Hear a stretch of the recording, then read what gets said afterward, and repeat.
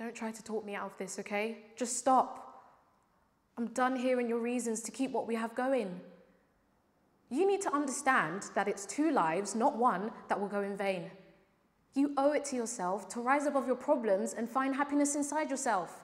And I deserve to be with someone who can give me all that I desire in this life.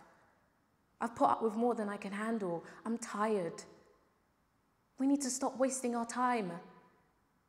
I much rather go at it alone with the hope of finding someone who can fulfill my needs than be with a man who will forever be burdened with his past and not accept his true nature. Life won't wait for us, Daniel. It continues on, and it doesn't matter what role we play in it, only I know what role I wish to play, and this isn't it. I won't be made to feel guilty for leaving you because I didn't realize until this very moment that this is what I have to do for the both of us.